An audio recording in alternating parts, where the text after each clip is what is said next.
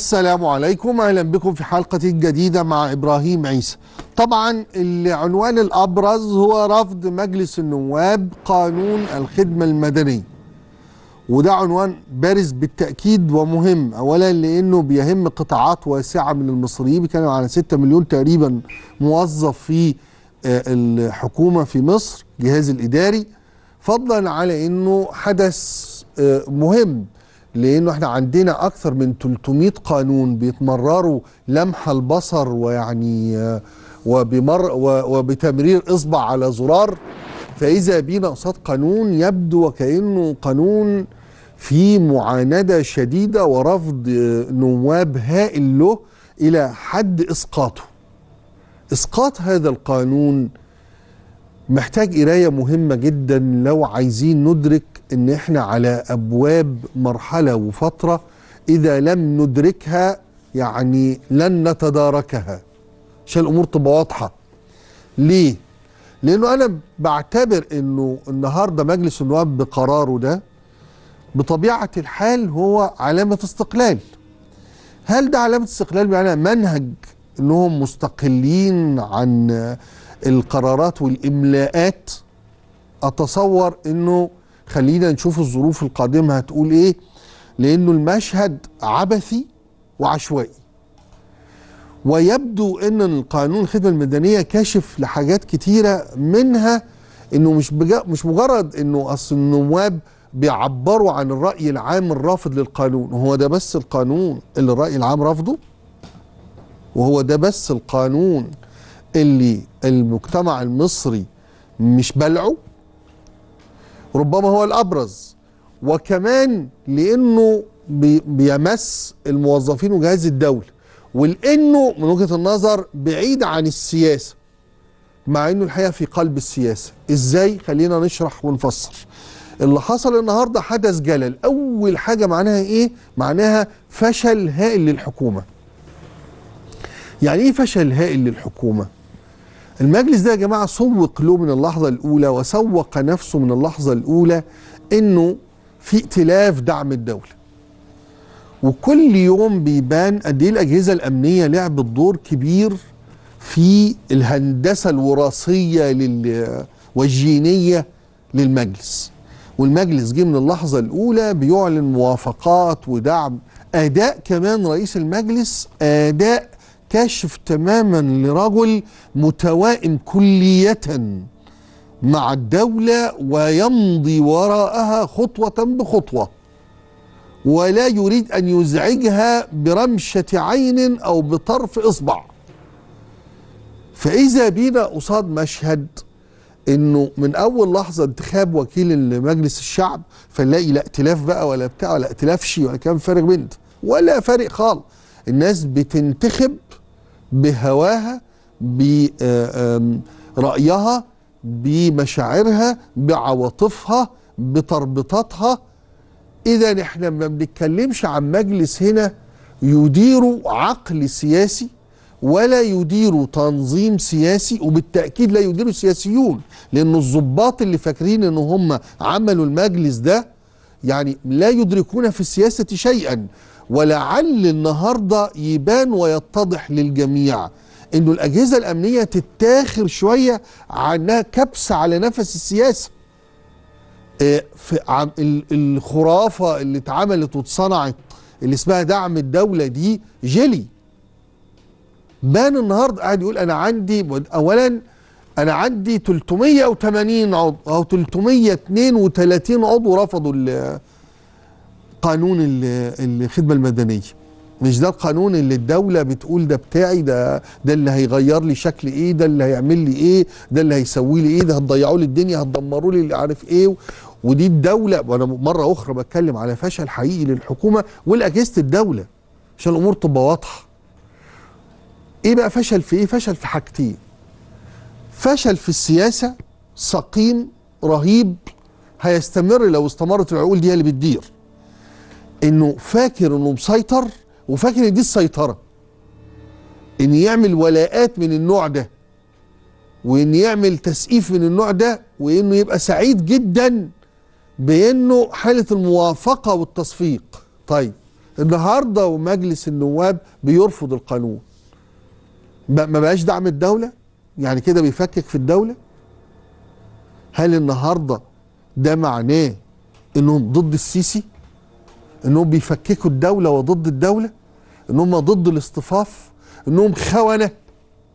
مش مش ده الترويج الدائم المستمر على كل من يجد لنفسه مساحة أو مسافه أو مسافه أو رأي مختلف أو مغاير أو مناقض أو معارض أو منتقد لأداء الدولة والحكومة. مش على طول بتطلع عليه البغبغانات. وبيطلع عليه الهجمات والتوحشات والاغتيالات للشخصية والتسريبات ممكن وكل حاجة والفبركات ممكن والاتهامات من أول أقلها كده الخيانة. أقلها الخيانة وبعد كده يبقى دعوة ل يعني لمحاكمته وقتله وكلام من ده. ما فرقش أي شيء عن أداء جماعة الإخوان في مواجهة خصومها اطلاقا وجهان لعملة واحدة. ده متعصب بشكل مهووس لجماعته ورأيه إن كل الآخرين يروحوا في ستين داهية ويداسوا بالنعال مقابل الجماعة وإنه لا يطيق أي حد يختلف عن الجماعة يهاجم الجماعة يرفض الجماعة يناقش الجماعة. وشعاره السمع والطاعة. الوجه الآخر مش طايقين أي حد.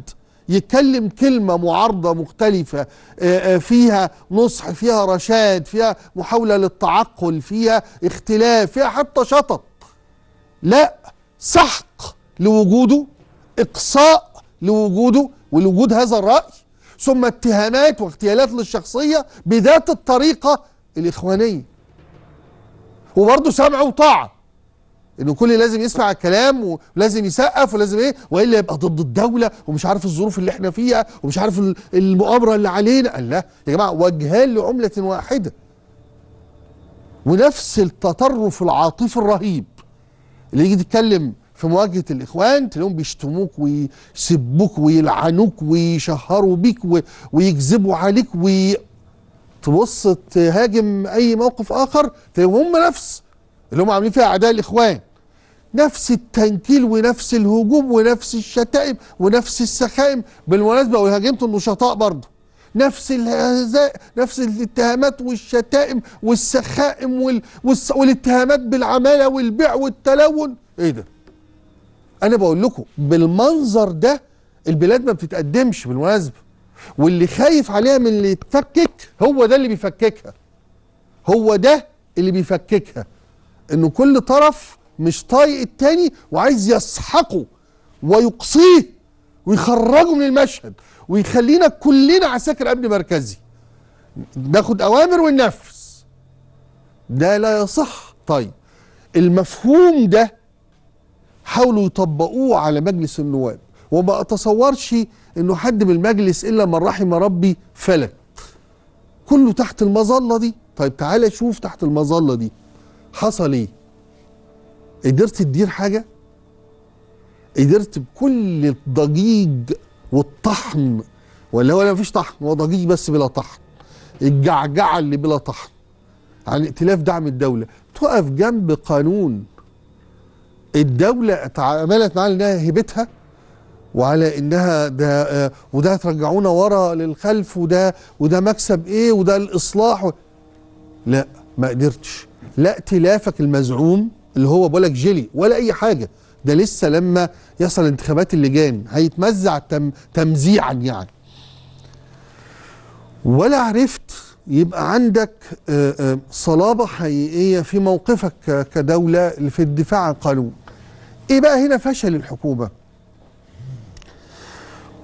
خليني كمان أتكلم في فشل الدولة إنها حتى مش عارفة تسوق قانون لموظفينها للعاملين داخلها لأبناء الجهاز الإداري اللي هم آه، آه، وقود العملية الإدارية في الدولة اللي هم أبناء الحكومة اللي هم الشغالين مع الحكومة اللي هم موظفين الحكومة الحكومة والدولة ما عرفتش تقنعهم ولا عرفت تديرهم ولا عرفت تتعامل معاهم ولا عرفت تتعامل مع غضبهم ولا عرفت تقنعهم.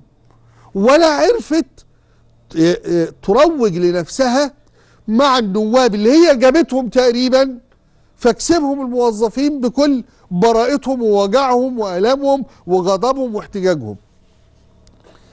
واللي طلع عندهم حق لأنه النهارده طول الوقت لما عملوا التصويت التاني بقى عشان الآثار المترتبة هو عمل إيه تصويت تاني بعد ما لغوا القانون؟ قال لك طب واللي حصل الشهور اللي فاتت دي كده شهر يناير المرتب بتاع شهر فبراير وش... فنصوت على إنه الأثار المترتبة على ال- الإلغاء ده تبدأ من الشهر الجاي. ليه؟ ليه عمل التصويت ده؟ عمل التصويت ده علشان ما يغيرش في مرتبات ولا يبقى عنده في مشكلة في المرتبات اللي صرفها من آه، آه، مارس الماضي. قال لا ولا من أول ما طبق القانون. يبقى الموظفين طلع عندهم حق. ان انت قللت مرتباتهم. امال امال هي قصة بتاعت تقنعهم لا ده مرتباتكم زادت. وهو قاعد والموظفين يقول لك لا مرتباتنا نقصت. وانت تقول لا ده انت مش فاهم ده انت مش عارف. طب وإيه اللي حصل؟ إن جيت على طول بالتعبير برضو اللي اللي هو تع يعني إعلان على إن الوزير أشرف العربي تصريحاته اللي هو قال أنا ما صرحتهاش لكنه فضلت مستمرة في مصر كلها. يبدو إنه قالها وأصر بيها وأحد من من من أفراد الحكومة قالها للجنة إن ال 17 مليار في الموازنة وبتاع فالموظفين مسكوا فيها. إذا أنتوا مقللين مرتباتنا 17 مليار. فيجي النهارده لما يعمل بعد ما القانون اتلغى يقول لك بس عشان الآثار المترتبة. لا ده طلع أهو بقى بجد. يعني إحنا بنك يعني طول الوقت قالت كذبة على الموظفين بتوعك. ما هو في الآخر بيروحوا الخزنة ويصرفوا. يعني مهما أقنعتني أنا بأنه لا ما فيش حاجة حصلت. طب وإذا هو اللي بيروح يصرف. وعارف كويس ان مرتبه ناقص هتعرف أحسن منه إزاي؟ طيب وده دليل تاني كمان. إنه الحكومة مع احترامي للسيد أشرف العربي ولكل أفراد الحكومة ما بيعرفوش حتى يسوقوا لمشاريع قوانينهم ولا لقوانينهم ولا لقراراتهم. حكومة بليدة جدا في السياسة. ما بت... هو السياسة يعني إيه؟ السياسة يعني إيه؟ السياسة يعني تحديد يعني يبقى عندك رؤية وعندك طريق لتنفيذه وعندك أهداف آه، آه، مفهومة معروفة عندك أولويات عندك قدرة على تسويق نفسك عندك قدرة على إدارة تحالفات عندك قدرة على اللعب بأكثر من ورقة لصالح أهدافك وإنك تبقى ممسك بخيوط وعامل امتدادات وتحالفات و وتربيطات. تبقى آه، آه، زلق اللسان وقادر على آه، تقديم منطقك. وانت لا تم... الحكومة لا تملك أي حاجة من دي. موظفين دي مش شغلتهم يا جماعة ولا يفهموا في السياسة ولا واحد منهم إلا. القليل الاستثنائي اللي في يوم من الأيام في حياته حتى دخل انتخابات اتحاد طلبة. حتى كان منتمي لأي حزب. كان يعني قليل ممكن يكون واحد فيهم بس. والباقيين كلهم في غيبة تامة عن السياسة.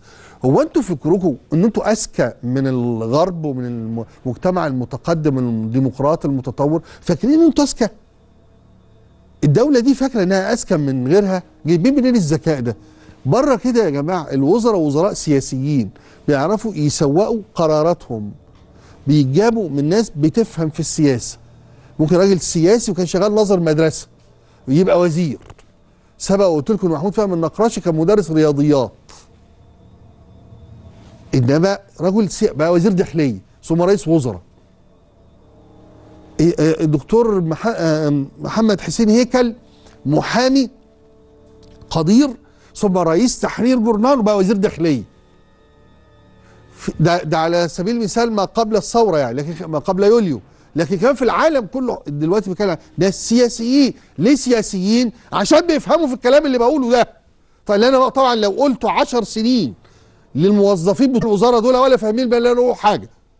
ولا ولا مصدقين ولا عارفين. ولا راحوا دولة حتى سألوا الوزير اللي قدامهم كده عشان يعرف هما بيعملوا إيه.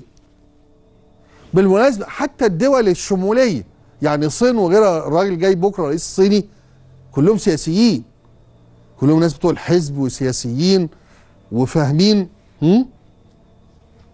آه. وصول الرئيس الصيني آه فعلا. النهارده مش بكرة. الزيارة الرسمية يعني.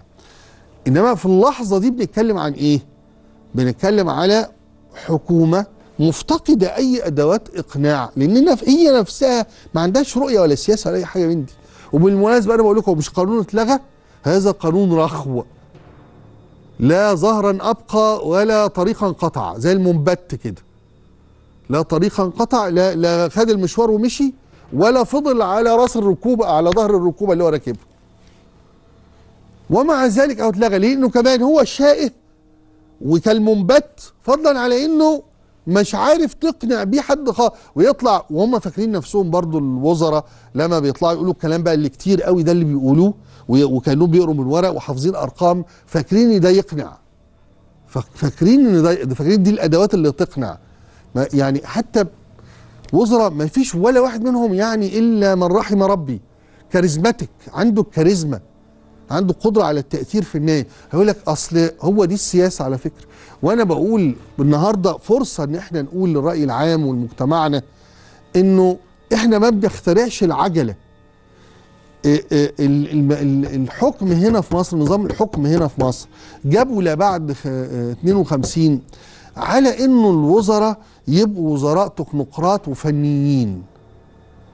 اساتذه الجامعة على مش عارف استشاريين سابق مستشارين سابقين على مش عارف على لواءات على إيه على موظفين يترقوا. فإحنا قصاد المشهد المطارد ما حدش سأل نفسه هو إحنا ليه مواقعنا الاقتصادي كل شوية يقع كل شوية يقع؟ ما حد سأل نفسه ليه ما بتتطورش مصري مصر بالطريقة اللي إحنا كنا بنتمناها وبنريدها. حد سأل نفسه ليه من يوم مؤتمر مارس لغاية النهاردة الاقتصاد ما انتعش والاستثمار ما جاش والمستثمرين ما ملوش يعني أماكننا وشوارعنا؟ سيبكم من اللي هيكذبوا ويقولوا جوهم ما حصلش. طيب يبقى إيه؟ ما حد سأل نفسه ليه ليه ليه؟ لأن إحنا لسه على ذات الفكر القديم. إن إحنا بنجيب موظفين موضع ثقة وموضع ولاء مش أصحاب خيال ولا سياسيين. طيب ما تقدمناش كده من 64 سنة. ليه فاكر إن إحنا هنتقدم في ال 64 جايين بنفس الطريقة؟ ليه؟ ليه إحنا كلنا يعني خلينا نسأل السؤال ده. استخدمنا نفس الطريقة دي كل السنين اللي فاتت ولبسنا في الحيطة. ليه متصورين إن نفس الطريقة دي مش هتلبسنا تاني في الحيطة. ليه؟ ليه؟ مين العبقري اللي, اللي, اللي عايز يقنعنا إن نفس الطريقة دي هتودي لنتيجة مختلفة؟ دي قوانين طبيعة يا جماعة. وهو النهارده مشهد أهو. فيما تصورت الدولة إنها امتلكت البرلمان الموافق. اهو البرلمان هو برلمان اختصر دعم الدولة في إنه يؤيد الرئيس السيسي. وبس ده اللي لكم عندي. ده اللي لكم عندي. إنما طيب عايزين بقى نبني الدولة الحديثة عايزين نغير بقى في الجهاز الإداري للدولة عايزين نصلحه. طب روحوا شوفوا شوفوا هتعملوا إيه. فضلا بقى على إنه الدولة نفسها مش جادة في أي حاجة من اللي بتعملها طول الوقت بقول لك كالمنبت. بدليل مثلا انها تيجي تعمل قانون الثروة التعدينية اللي اترفض وبعدين رجعوا قال لك نصوت عليه تاني. القانون الثروة التعدينية ده لما اتعمل بلايحته مفيش مستثمر قال انه كويس أو قالوا انه يشجعوا ويجذبوا للاستثمار في مجال التعدين والمناجم. خالص. ورديء.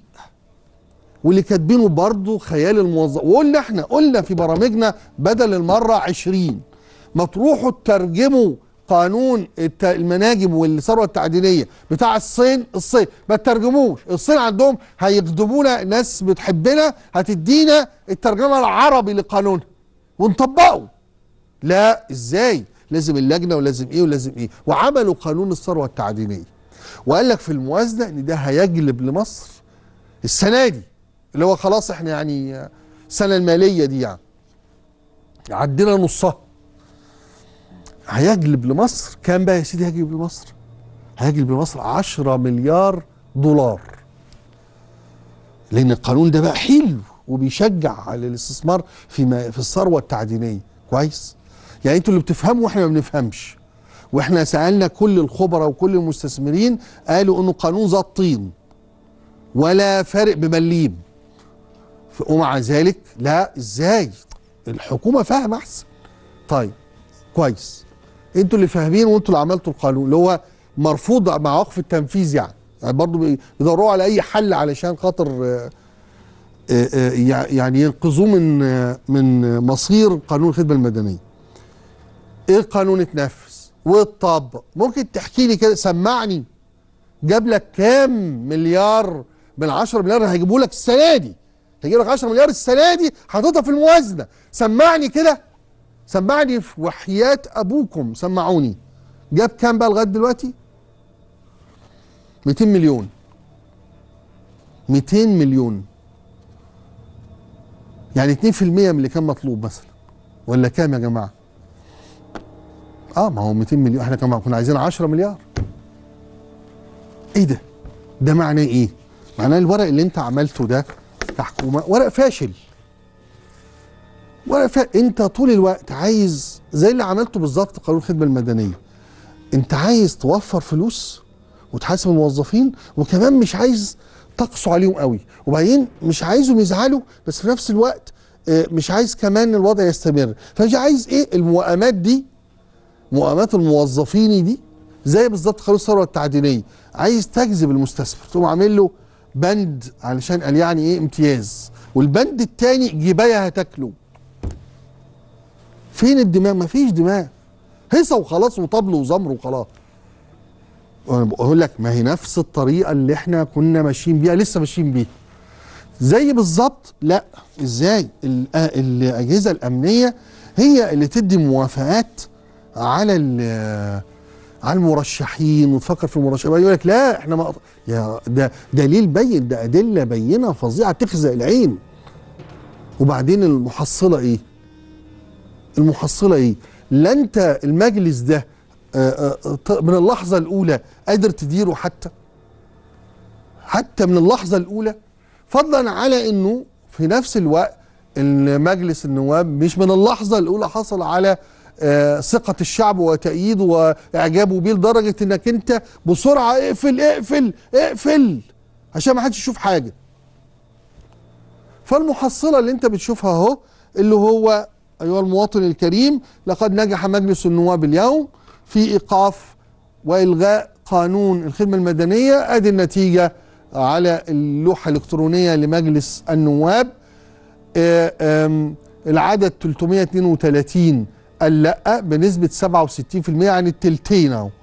ممتنع سبعة نعم 150 يعني بنسبة 30% و6 من عشرة. المجموع 489 خد بالك اللي حضروا وصوتوا 489 المجلس كام؟ 596 اطرحوا لي يا جماعة كده وقولوا لي 596 من 489 يبقى في عندنا كام؟ آم، 107 107 107 نائب غابوا. 107 نائب غابوا في توقيت زي ده في قانون زي ده في تصويت زي ده الدولة محتاجاه والحق يا جدع ائتلاف دعم ال- آه، آه، ما يسمى بالدولة. ده انت حت قدرتك حتى على حشد على الحشد متواضعة وضعفانة. أنا كنت أقبل لو هي متسابة كده على اعتبار إنه لا في ائتلاف ولا في اجتماعات في الم... في التجمع الخامس وفنادق وتصويت داخلي وتصريحات وبرامج بقى والمنسقين والمش عارف إيه والايه إنما لما يكون في بقى كل المنظر ده كل المنظر ده وفي الآخر النتيجة فوضى وعشوائية بالنسبة لك أنت مش بالنسبة لي أنا. يعني بالنسبة للدولة والمتصورات اللي حصل النهارده لطمة على وجه الحكومة ده ولا شك. ولا شك. وبالمناسبة لو لو ما كانش في التضييق والأداء اللي بيعمله آه، دكتور علي عبعال كان في قوانين كتير قوي هتقع. لأن كمان بتلاقي في مجلس الشعب من أول مجلس النواب من أول يوم منشورات بتتوزع ونواب بيطردوا. ليه برضو؟ لأن الإصرار على أهل الثقة وأهل الولاء مش أهل الخبرة والكفاءة. فجيب اللي بيدير أهل ثقة برضه طيب. هو إحنا فاكرين انه كل الوقائع دي لن تنتج في النهاية؟ ما هتجيب في الآخر نتائج.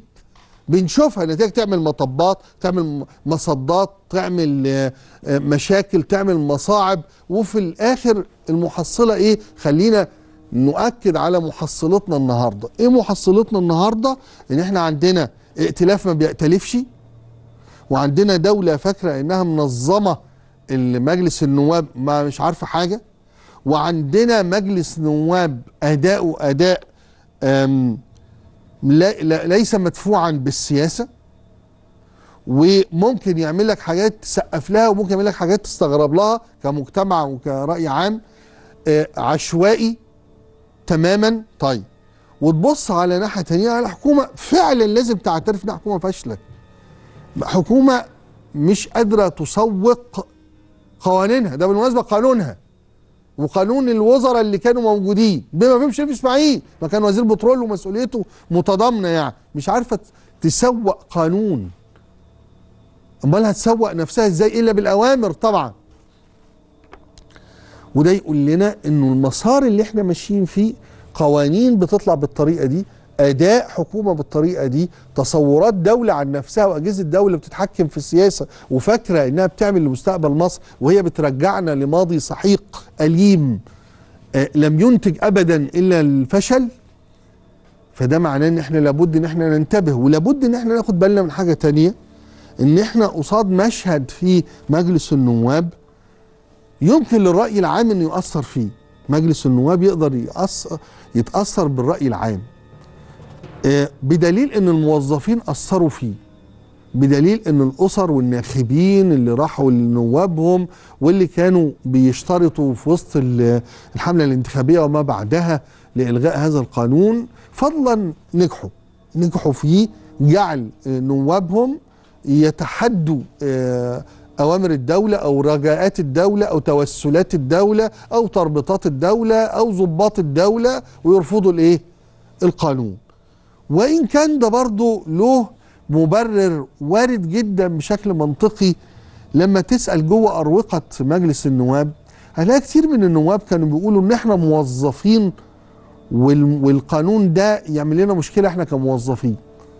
ليه؟ لو وتبص تلاقي منطقي. أنت عندك موظفون بالدولة والقطاع العام 43 نائب. عندك معلمون 35 نائب. عندك إدارة محلية 15 نائب. عندك بالمعاش 14 نائب. عندك في قطاع البترول سبع نواب. قطاع الكهرباء خمس نواب. وزراء سابقون ثلاث نواب. دعاة اثنين نواب. يعني إحنا بنتكلم على عدد من النواب يعملون موظفين في الدولة. وفي أجهزة الدولة بما يعني إنهم طرف في القصة. زي لما يكون حد مثلا صحفي عندنا 19 صحفي في البرلمان وقانون عن الصحافة بيتناقش يبقى يبقى هو عنده هنا ال- ال- الصفه النيابية وصفته كصحفي جوه الواقع ده وعارف القانون ده يعمل فيه إيه. نفس الحكاية. عندك موظفين دولة كنواب برلمان وكتير ومتنوعين ومتعددين فضلا على إنه الضغوط الشعبية اللي حصلت من خلال الموظفين اللي بتقول لي نتيجة برضو من النتائج والدلالات اللي ننتبه لها النهارده إنه إحنا قصاد آه، قدرة للرأي العام على التأثير في أداء البرلمان. لكن كمان عندنا دلالة من الدلالات المهمة ومؤشر كبير إن إحنا مش شايفين حاجة. إنه مش هم مش منعوا الإذاعة ومع ذلك قول لي كم فيلم أو يعني فيديو آه، آه، ظبط نواب بيصوتوا لبعض في حالة تزوير بين وفاضح وفج. قول لي كم آه، فيديو لنواب في أروقة البرلمان بكلامهم ومناقشاتهم بخناقاتهم كام؟ يعني أنت ولحد النهارده وادي القانون أهو مش انت كنت مانع بس ال- الجلسات علشان خاطر آه، النواب ما يعملوش فيها أبطال قصاد الرأي العام وما يحاولوش يستعرضوا. ده جزء. والجزء الثاني عشان الرأي العام ما يشوفش قد إيه المستوى وقد إيه الأداء. طيب المحصلة إيه؟ عملت إيه بمنعك؟ اتلغى لك القانون الأهم بالنسبة لك. المرتبط تماما بما تقدمه باعتباره أنت كدولة منجز. وده يسوقني في حكاية المنع. إلى قرار النهارده آه، السيد النائب العام أصدره وهو حظر النشر في قضية أو فيما يخص آه، آه، قضية جهاز مركز المحاسبات وتقرير تقصي الحقائق وغيره. طيب إحنا لازم نحترم لازم نحترم تماما قرار الحظر. هنحترمه إحنا بنرفضه بالمناسبة. في الصحفي مؤمن بحرية الرأي والتعبير ابدا. ومؤمن بحق الم- المعلومات والحصول على المعلومات يؤمن بحظر النشر. لكن كمان لكن بنحترمه رغم إنه إحنا بنرفضه. لكن كمان لازم ننبه إن الدولة أفرطت في استخدام حظر النشر. كأن الدولة خايفة من حاجات كتير. كأن الدولة جزعة وخائفة من أشياء كثيرة وأفرطت في حظر النشر. أول حاجة لازم ننتبه لها إن الدولة أفرطت في حظر النشر. وبعدين لما الاقي حظر النشر بقى منهج وبعدين بتمنع الجلسات بقى, بقى لا المنع كمان بقى سهل. المنع بقى سهل وبقى منهج وبقى وسيلة. ده تعبير عن إيه؟ تعبير عن قلق.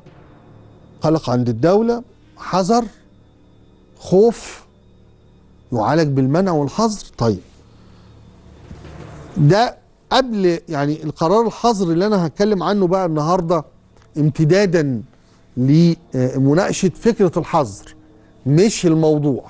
ليه؟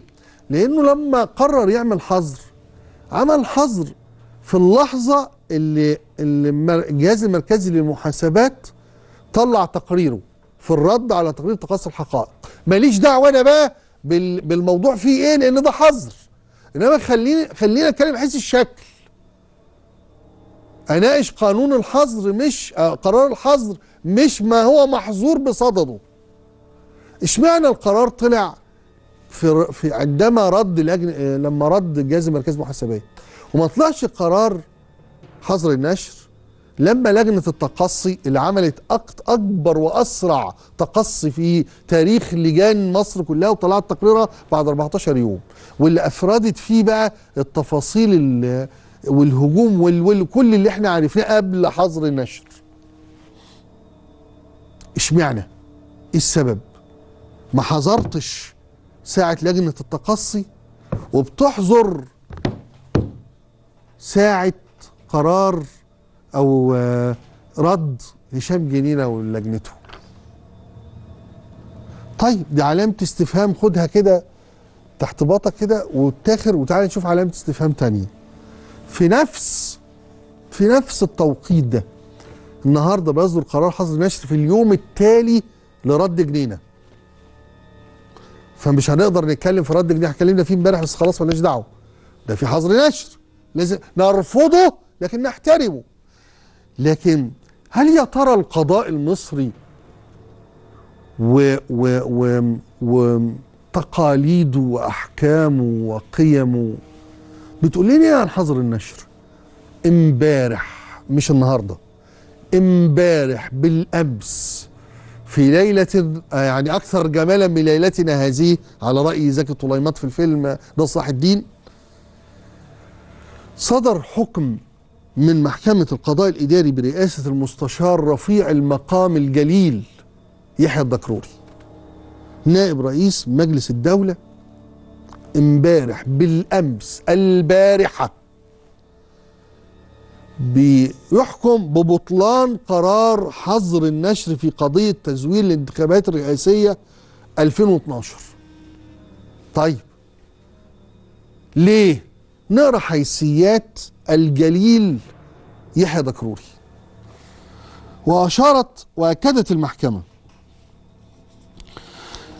أن الأخبار والمعلومات التي تخص الشأن العام تعتبر من أدوات تشكيل الرأي العام. مؤكدة أنه للمواطنين ولوسائل الإعلام أنا يعني إحنا وسائل الإعلام الحق في اللجوء لمصادر المعلومات الصحيحة للحصول عليها وتداولها ونقلها وإجراء النقاش والجدال حولها ليشكل ليشكل كل مواطن رأيه في الشؤون العامة على هدى من نور الحقيقة ودون حجر على حرية الفكر. الله الله يا مستشارنا الجليل. شوف حكم المحكمة الناصع بيقول إيه؟ وكأنه يريد وكأنني أريد لسيد النائب العام ومكتبه أن يقرأوا حكم هذه المحكمة الرفيعة علشان نعرف مشكلتنا إحنا كرأي عام وكصحافة مع حظر النشر الذي أفرط في استخدامه. وأكدت المحكمة أن محتوى الإعلام يؤثر في الرأي العام قائلة فإذا كانت مادة الإعلام صحيحة وصادقة في أخبارها ومعلوماتها أدرك الرأي العام حقيقة ما يجري إدراكا سليما. أما إذا حرمت وسائل الإعلام من المعلومات والأخبار الصحيحة فإن ذلك ينعكس سلبا على الرأي العام. وأشارت المحكمة أن كل مساحة تخلو في وسائل الإعلام من المعلومات والحقائق تمتلئ بالأكاذيب والتضليل وكل خصم من العلم الصحيح بالحقائق يؤدي إلى زيادة الجهل والانتقاص من الوعي العام ويؤدي إلى عدم مصداقية وسائل الإعلام ويصرف الناس عن متابعة الشأن العام كما يجرد وسائل الإعلام من تأثيرها الإيجابي في الدفاع عن حقوق وحريات المواطنين وتبني قضاياهم. إن كل تقييد لحق المواطنين ووسائل الإعلام في الوصول إلى المعلومات الصحيحة والأخبار الصادقة على غير سند من القانون وبدون مبرر يستند للمصلحة العامة يعد مخالفا للدستور ويهدر الحقوق التي أقرها للمواطنين ووسائل الإعلام. إن من مصلحة المواطنين العلم بحقيقة ما يدور. لما الحكم وحيثياته نقدر نهديها لكل صاحب قرار بحظر النشر يعمل لنا الحالة دي الحكم يعمل لنا حالة النور دي بأنه لا موقفنا فيما يخص الخصومة مع حظر النشر والتي نعتبرها حجبا للمعلومات ونعتبرها وقفا لحق أو مصادرة لحق المصريين في المعرفة خصوصا خصوصا إنه لما يتم ده في لحظة بدت وكأنها آه تالية مباشرة لموقف لجنة الجهاز المركزي للمحاسبات بينما لم تصدر مثل هذه القرارات بحظر النشر ولا وجهت ولا تلت تقرير لجنة التقاصي الحقائق. وكأنني أبرأ. أنا أبرأ أهو. أنا أبرأ. عشان بس لو لو هنعمل سين وجيم. أنا أبرأ. بالمسؤولين عن هذا القرار أن يكونوا منحازين لطرف ضد طرف. أنا أبرأ أهو. عشان لو في سين وجيم. إنما ألا يستدعي هذا تساؤلات من المواطنين العاديين الطبيعيين؟ إنه ليه لماذا الآن؟ لماذا الآن وحالا وفورا؟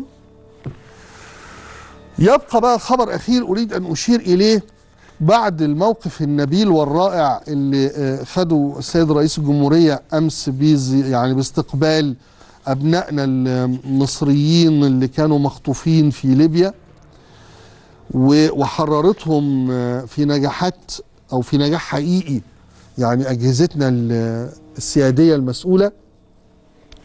إذا بينا النهارده خبر إنه ضبط 28 شاب مصري وحولونا الهجرة إلى ليبيا. إلى ليبيا. إمبارح رئيسنا بينقذ 20 أو مصر بتنقذ ورئيس بيستقبلهم يعني متوجا للجهد الرائع ده. والنهاردة الصبح مش يوم تاني مش بعد أسبوع النهارده الصبح. مسكنا ده ما عرفناش لسه الباقيين ممكن يكون في ناس 28 واحد بيهاجروا رايحين فين؟ رايحين ليبيا برضه.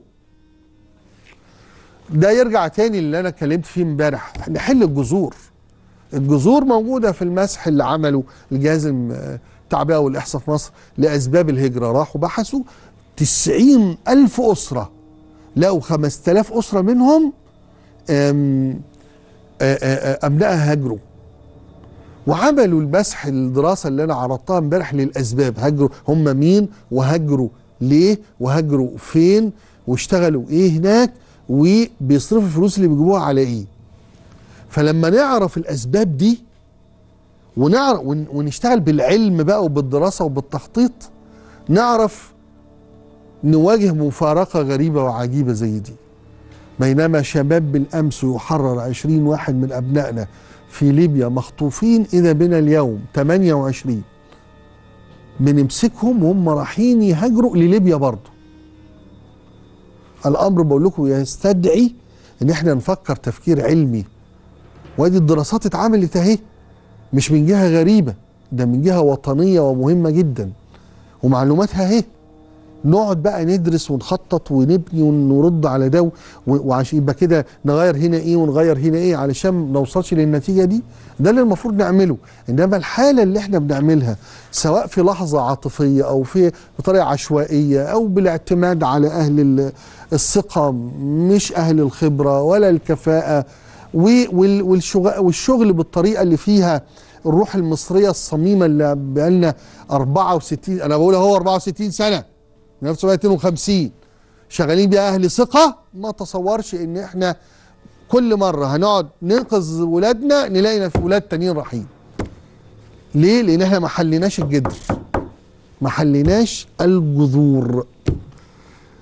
نلتقي بعد الفصل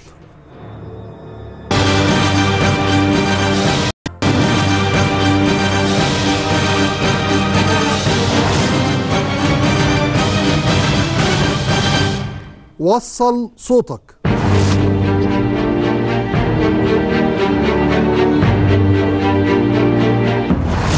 اذا إلى الصوت الأول. عصام هليل صاحب سيارة نقل وقفت السيارة بسبب آه، آه، قرار وزير نقل سابق بتحصيل جباية على السيارة وهو الوزن الزائد. مفيش حد بيرضى يحملنا وزن قليل. كل مقاول عايز يحملنا عايز يحملنا وزن زايد. الوزارة ورئيس الوزارة ووزير النقل شركاء في المسألة دي المقطورة اللي بتقتل الناس في مصر بتقتل عشان وزنها زائد عشان السائق ما بيقدرش يتحكم فيها. انت بتاخد مقابل دم الناس. لما بتقول للسواق امشي بحمولة زايدة يبقى انت بتقتل الشعب المصري وانت شريك في دمه. امشي بحمولة زايدة يعني بتكسر الطريق وتدمره. امشي بحمولة زايدة يعني بتقتل الشعب. امشي بحمولة زايدة يعني انت بتسرق صاحب السيارة. هو إحنا كلنا ماشيين بحمولة زايدة على فكرة. البلد ماشية كلها بحمولة زايدة. آه وده عامل أعباء على البلد كلها برضه المنطق اللي بيتكلم فيه صاحب مصلحة بمنتهى الوضوح بيقول رأيه وحجته بالمنطق وبالحماس ده وبالروح اللي فيها فهم مشكلته جاية منين. أنا اللي يهمني هنا هو فكرة إصدار مثل هذه القوانين. هو طبعا بيعملوا غرامة على الزيادة فيعني خلاص زود وادفع غرامة مش مشكلة. طب وفي المحصلة على رأي صاحب هذه السيارة مالكها يعني. بكل أناقة وشياكة كده يعني إحنا أصحاب العربيات النقل في الغالب بمعلمين ولابسين الزي الشعبي ومعلم فلانة ده هو راجل برنس يعني. إنه أنت بتعمل خسارة للطريق اللي أنت ماشي وسبق إن أنا يعني سألت مستشار وزير النقل السابق لشؤون الطرق. هو إحنا هو راجل بروفيسور عظيم يعني مش حاجة قليلة حاجة قعد 40 سنة بيدرس في الخارج وحاجة خبير في الخارج مش فكره بيدرس. وجه هنا مصر علشان عايز يخدم بلده يعني. ما أعرفش هو لسه موجود في وظيفته ولا لأ.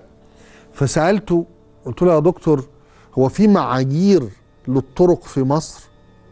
فأجابني الرجل لأن هو بقاله فترة 40 سنة في أمريكا فمش واخد على المراوغات يعني واللف والدوران والحتة المصري الجميلة بتاعت إنك أنت يعني تحصل طول الوقت على رد مش رد. يعني أنتوا عارفين إحنا عندنا طريقتين كده في الحياة. في في التعامل مثلا مع المرض لما أنت تروح لا قدر الله مريض فتروح للدكتور. في دكتور يقول لك بالطريقة المصري. اللي هي لا لا لا ده حاجة بسيطة إن شاء الله وهتعدي. لا ما تكون يعني ما ما تشيلش هم. لا ده ده هي حاجة بسيطة ده هي مش عارف إيه. ويقعد يخفف لك من الأمر ويهدئ من روعك وما يقولكش حاجة غير الكلام الهايم الغايم اللي مش مفهوم ده بغرض تطمينك يعني. وفي طبيب تاني منهج تاني في الطب يعني يقول لك أنت عندك ورم ولازم نشيله خلال ثلاث أيام.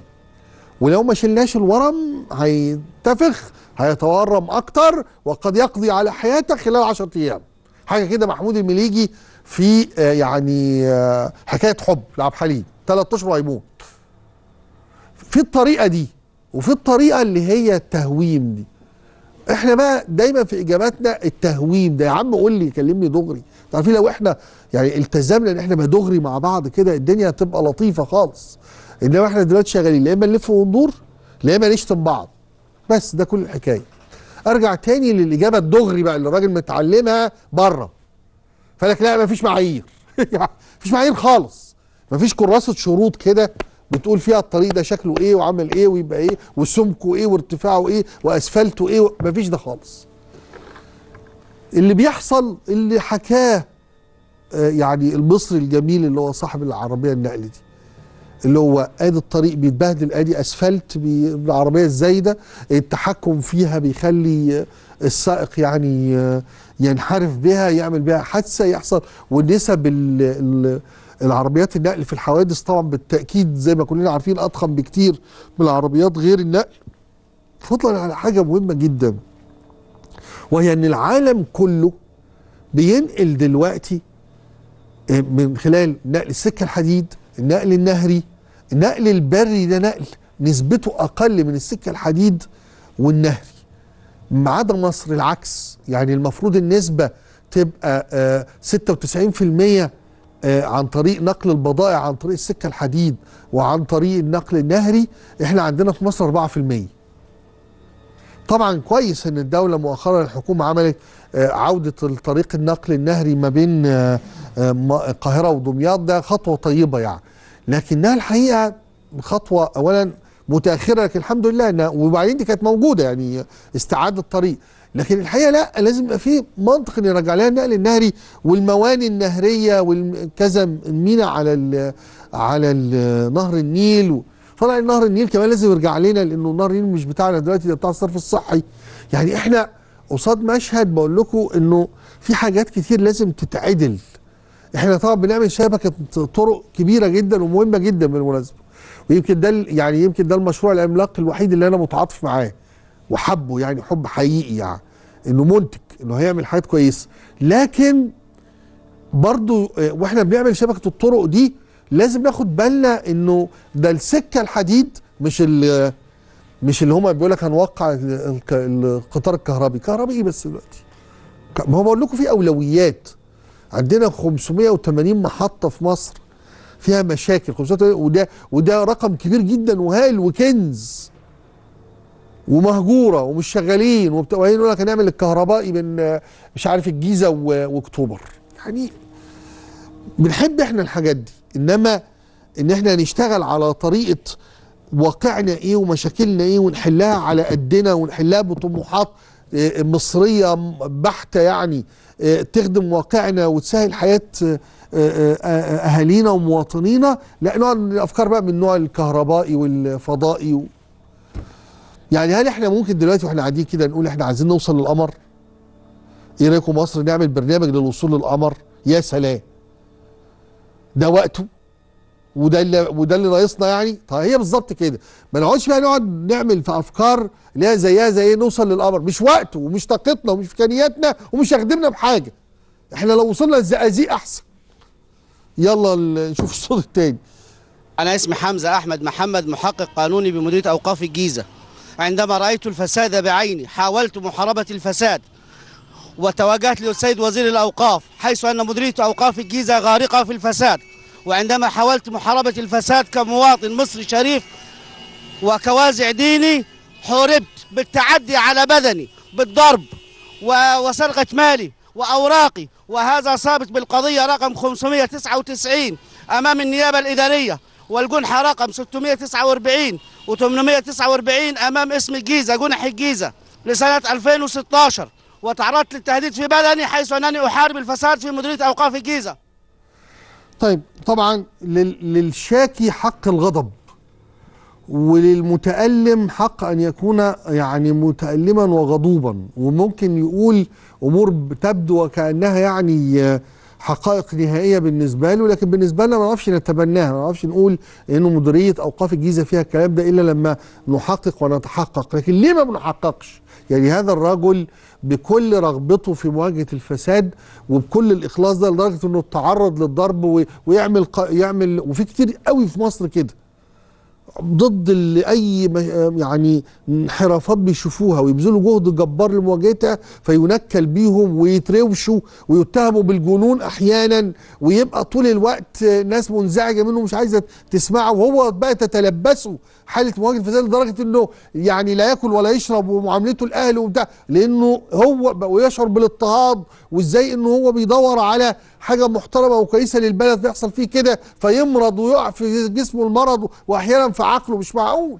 ليه؟ إحنا نترك مواطنينا كده اللي هم يكادوا في لحظة من الغضب ينفجروا نتيجة رغبتهم في مواجهة الفساد فيواجهوا بكل ما يعني اعتداءات زي ما الراجل حكى وزي وكتير ما بنشوف.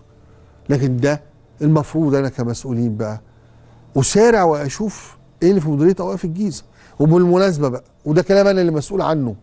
لا الأوقاف فيها هيئة الأوقاف والتعامل مع الأوقاف لما تشوف تقارير الجهاز المركزي للمحاسبات والمناسبة والرقابة الإدارية لا.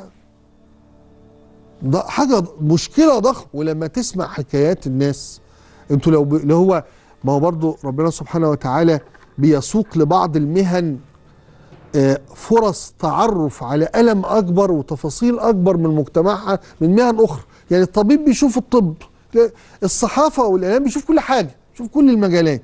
فلما تنصت وتستمع إلى كثير عشرات عشرات ده ده الواحد بس يشوف عشرات. ما بالك بقى بمجموع الإعلام المصري. للحكايات عما يجري في الأوقاف وفي هيئة الأوقاف وفي عمارات الوقف وشركات الوقف. أمور يشيب لهولها الولدان. ليه؟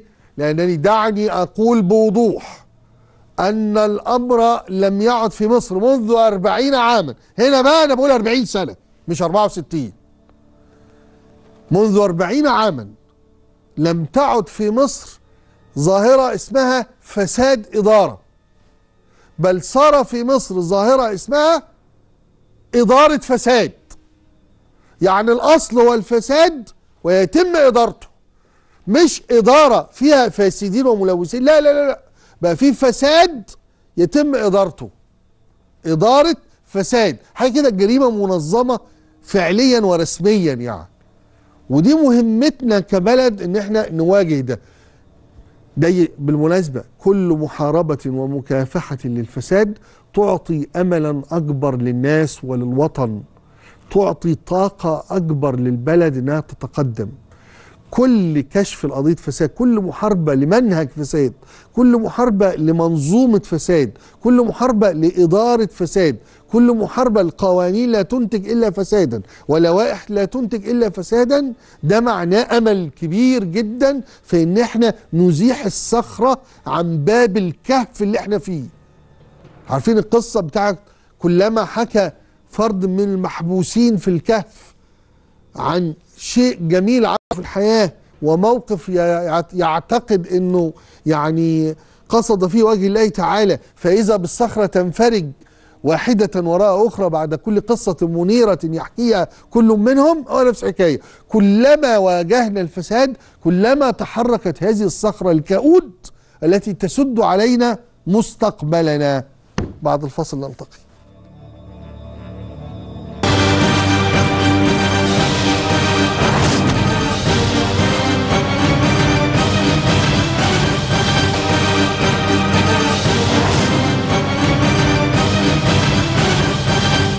الجانب الآخر من الرواية.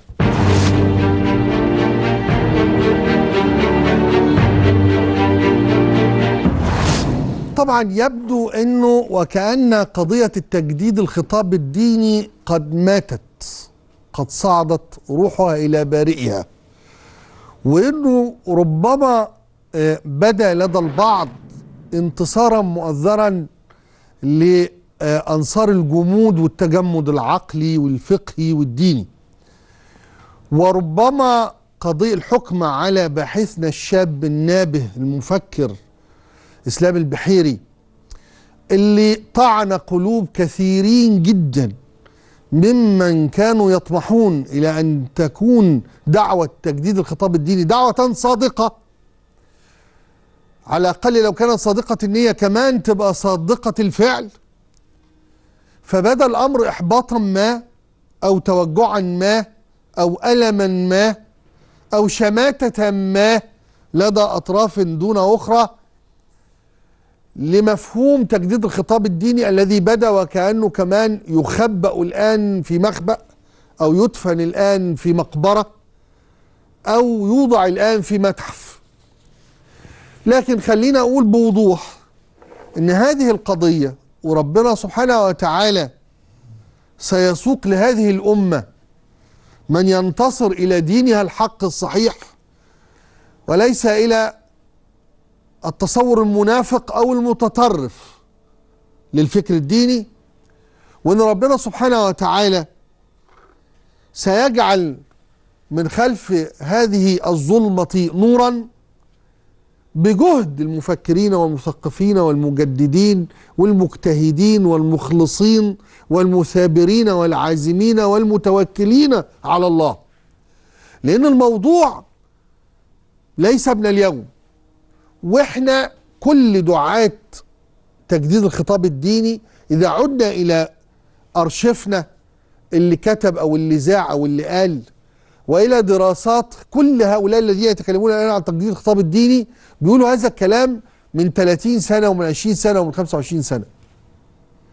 فقط مؤسسة الأزهر تقول هذا الكلام في اليوم التالي لما قاله أو عندما قاله الرئيس السيسي.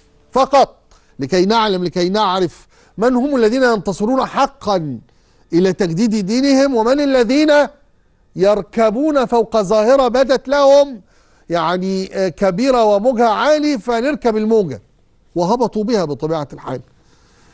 لكن كتير بسمع آه، هذا السؤال ويوجه لي طب نعمل إيه؟ يعني يعني إيه تجديد خطاب ديني؟ لأنه كمان تجديد الخطاب الديني اختطف في فكرة تطوير المناهج اللي هي عار عار مهما دافعوا عنه مهما قالوا عنها مهما ادعوا وزعموا هي عار بلا منازعة. نعمل إيه؟ يعني إيه تجديد خطاب ديني؟ تجديد خطاب ديني يا جماعة يعني الدولة تقعد مع نفسها بس دولتنا دولة دينية مش دولة دولة سلفية مش دولة مدنية خالص خالص. مفيش دولة سمع وطاعة تبقى دولة مدنية. طيب نقعد مع بعض كده ونقرر يعني إيه استعادة مصر ما قبل منتصف السبعينيات. ما هو بالمناسبة إحنا كان عندنا خطاب ديني معتدل ووسطي ومحترم وم- ومنور قبل منتصف السبعينات. قبل القعدة اللي قعدها عصام العريان مع حلم الجزار مع منعم الفتوح مع سعيد عبد العظيم وغيرهم في كلية طب القصر العيني وعملوا الجماعة الإسلامية اللي تفرعت بعد كده في جماعة إسلامية وفي دعوة سلفية وراحوا اللي انضموا للإخوان المسلمين. وساعدهم في ده طبعا الوهابية بفلوسها بتمويلها و- وأجهزة الدولة بتواطؤها وتدليسها رسمي رسمي رسمي. تدليس رسمي. آه، هل ده ادعاء اطلاقا؟ أنا أعتمد على الرئيس محمد أنور السادات الزعيم الراحل الجميل العظيم ده وهو بيعترف في خطابين في 14 سبتمبر و25 سبتمبر. آه، آه، قبل اغتياله بأيام بخطأه وخطئته في إحياء هذه الجماعات وهذا التيار. طيب. اذا الموضوع سهل خالص. نرجع إلى ما كنا عليه فكرا دينيا ما قبل أربعين عاما. حلو خالص ده موضوع مش متوه مننا خالص يعني. إحنا عندنا النموذج بتاع مصر. مش بتكلم على نمو... اللي هو ما قبل انتشار الوهابية في العالم الإسلامي وقبل غزو السلفية للمصريين.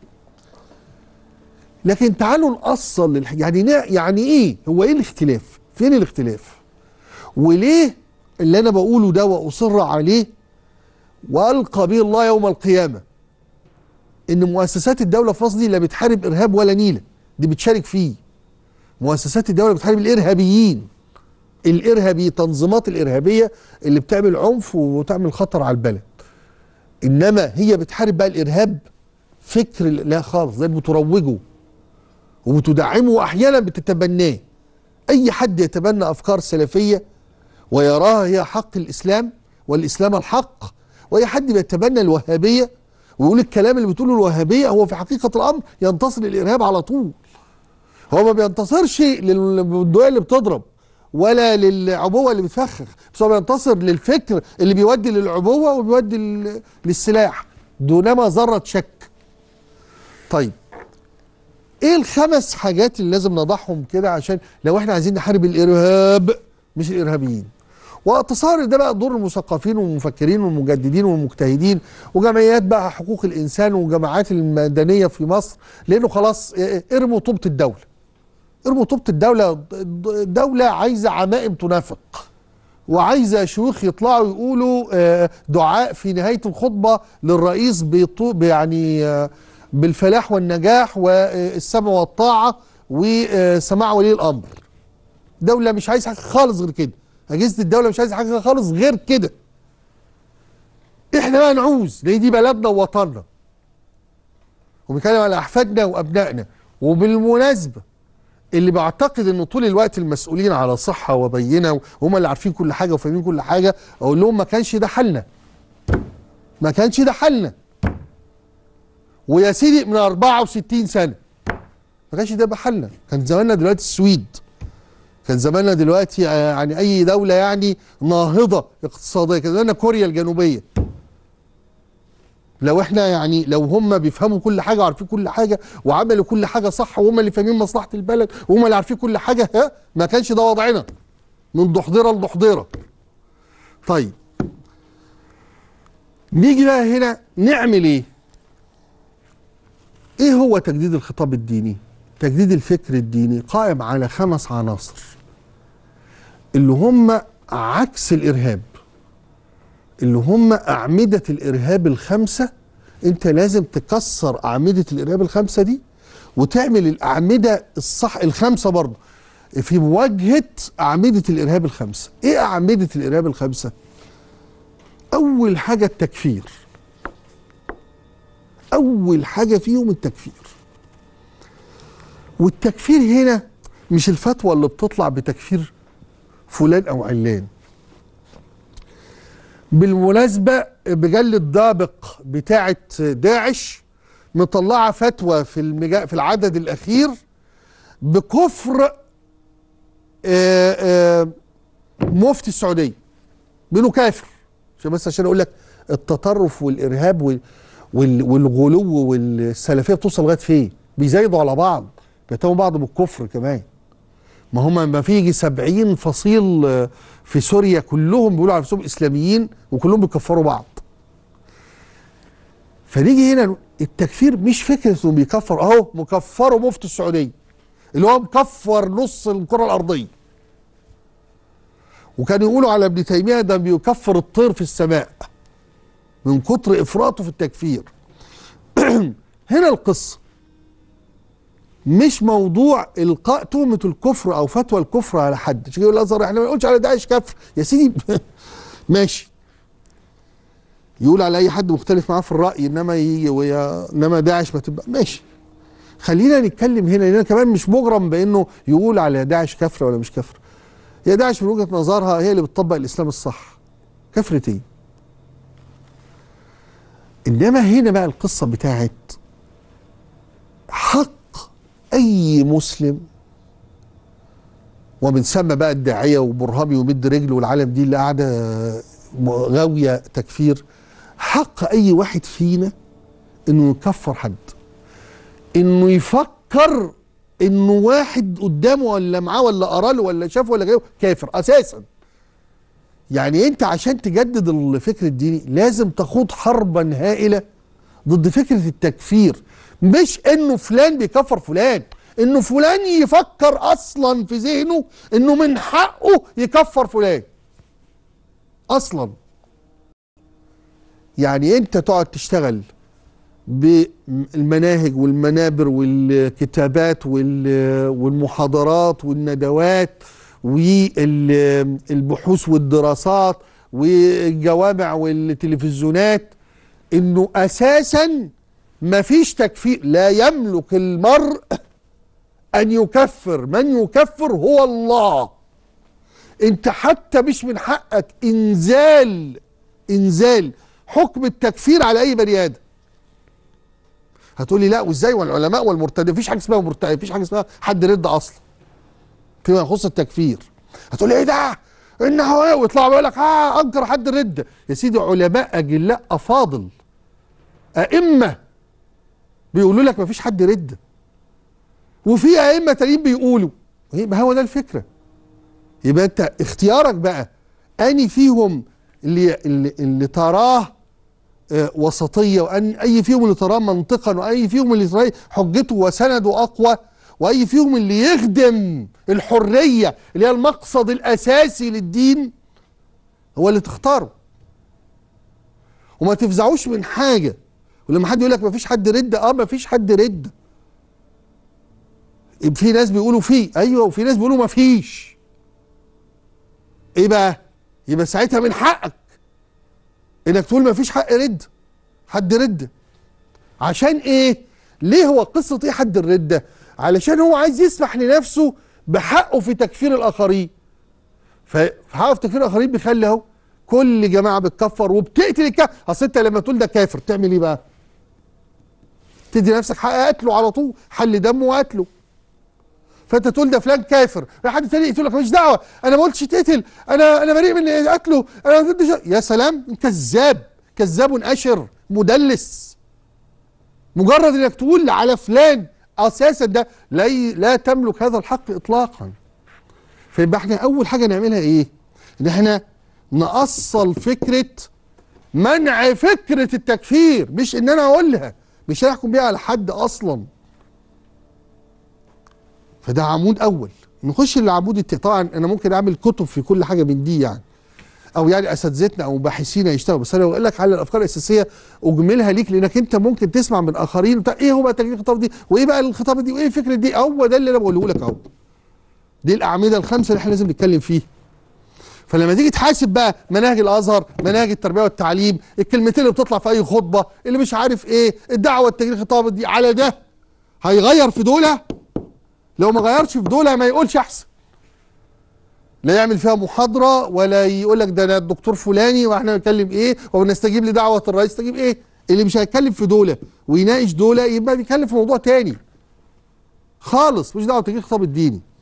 طبعا ده وجهة نظري يعني للحق الجميع إنه يختلف زي ما هو عايز. إيه العمود الثاني الشريعة.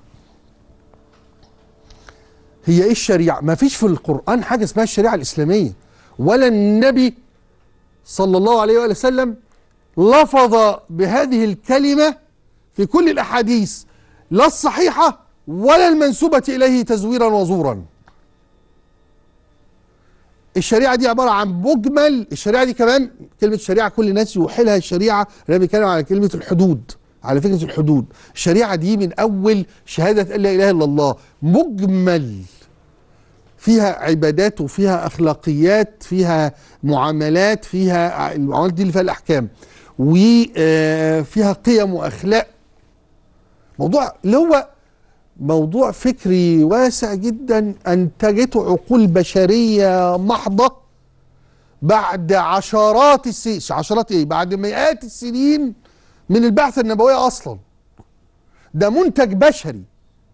فكر مجموعة من الوعاظ على الأئمة على الكتاب على إيه أو وطلعوا المصطلح واشتغلوا على المصطلح كانه هو ده مفروض عليا أنا. إن أنا أتبعه وأسمعه. ليه؟ ده اجتهاد. مستنبط يقول لك من القرآن والسنة. يا سيدي ما أنا استنبط أنا آخر. حد يقول لنا كده فين النص الإلهي على الشريعة الإسلامية؟ ده منتج بشري محض.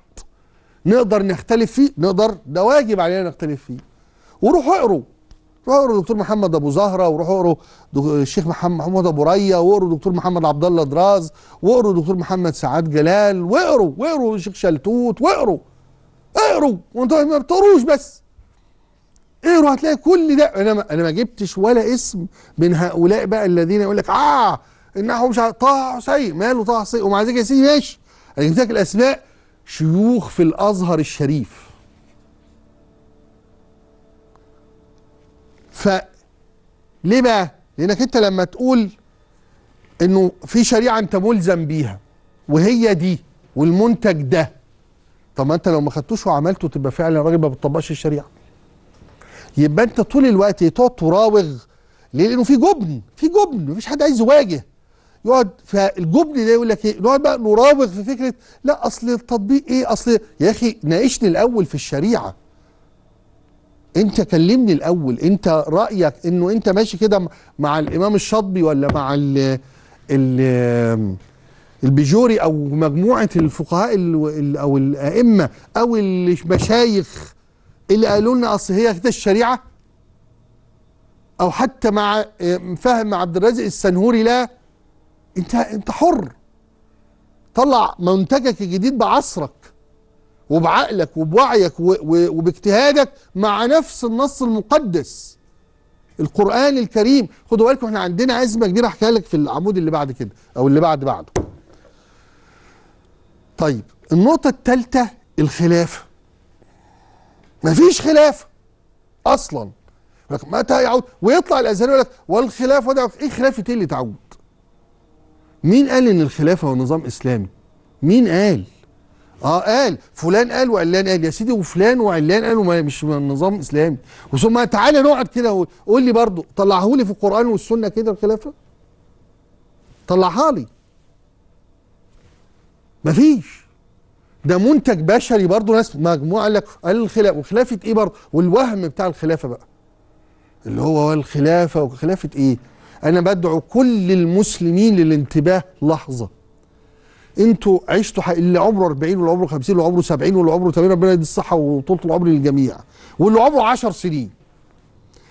يا أيها المسلم هل انت سمعت في حياتك أو قرأت عن نموذج عدل في الإسلام لحاكم إلا عمر بن الخطاب وعمر بن عبد العزيز؟